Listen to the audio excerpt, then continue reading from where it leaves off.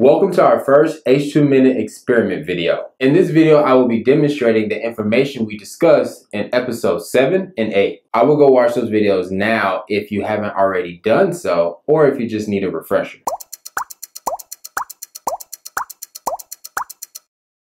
Here I have different cups of bottled waters and some other drinks. Our first experiment will be to check the pH of these beverages with these pH drops. Let's bring our pH scale back so we can see what the pH is based on the color.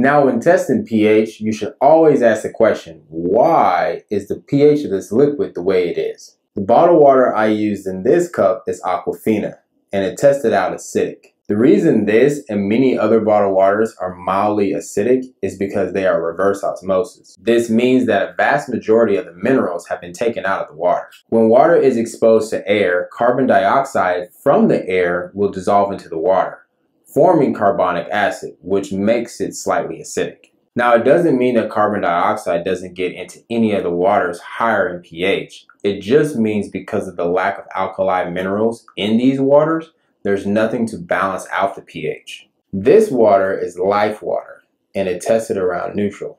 Why?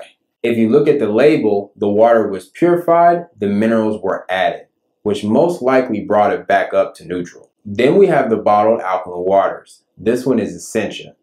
They normally add alkali buffers to make it the desired pH. The sports drink and the soda have a lower pH, probably in the range of 2 to 3.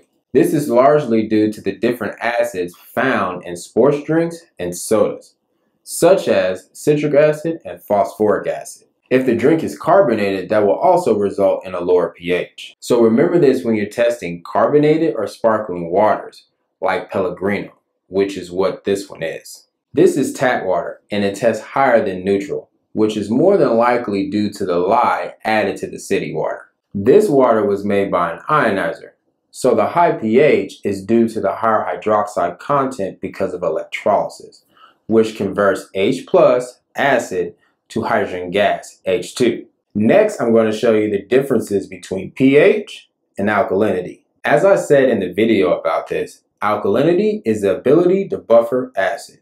So a common demonstration people use to show how acidic soda is, is to pour a little in each drink. So let's do that.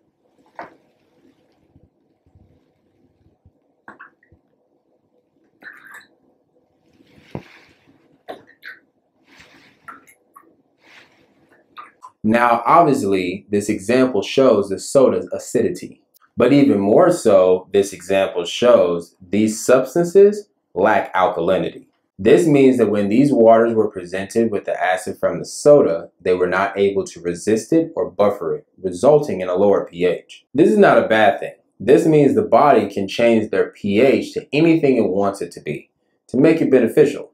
Remember, there is a difference between pH and alkalinity. For example, baking soda has a pH of 8.1 and is a strong buffer, whereas ionized water can go up to a pH of 12 but is a weak buffer.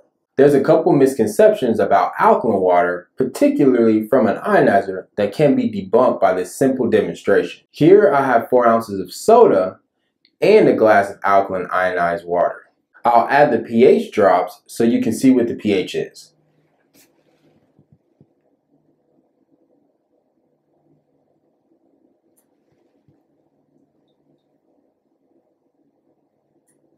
One misconception is that alkaline water, like this kind, can alkalize your body, thus making you more healthy. The other misconception that comes from the other side of the spectrum is that this kind of alkaline water can neutralize your stomach acid, causing digestive problems. Now I could pour this glass of alkaline water into this four ounces of soda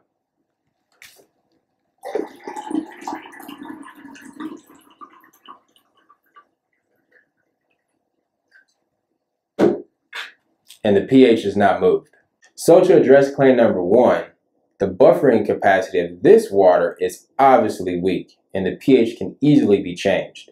In regard to claim number two, This test makes it clear pouring high pH water into something this acidic hardly affects its pH. And considering that the pH of your stomach acid is even more acidic than the soda, it's safe to say that your stomach acid is going to be less affected by drinking high pH alkaline water. Remember, this is only if you're using alkaline water made by electrolysis. Alkaline water made with baking soda will have a much higher buffering capacity and will be able to resist a pH change a lot better. Now we're going to talk about this misnomer that's floating out there about ionized water. The word is alkalize. Some even spell it like this to distinguish from its correct spelling. Either way, the word means the same thing, which is to make a substance alkaline. So is ionized water alkalized? Absolutely. Because it usually takes water that's not originally alkaline and raises its pH. But there's more to that story. So here I have four cups, two with soda and two with slightly acidic water. Let's check their pH.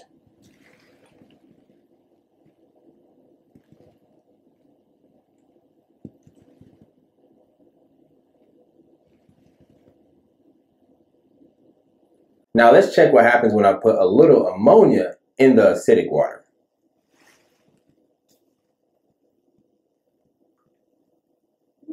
How about in the soda?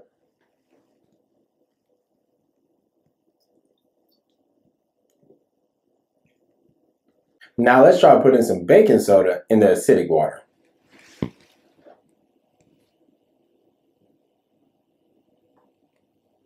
Now what about in the soda?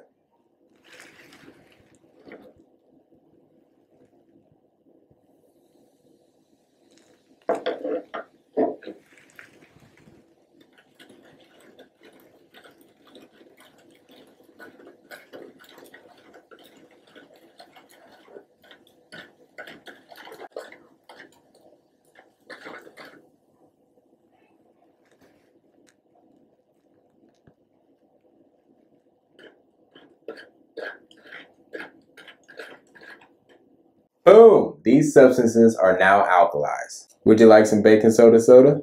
The purpose of these demonstrations was to equip you with the tools to know what you're seeing with this kind of presentation. Then you won't be fooled by the tricks, but prepared with the truth. And that was your H2 Minute Experiment Experience. Please support us on Patreon if you want more videos.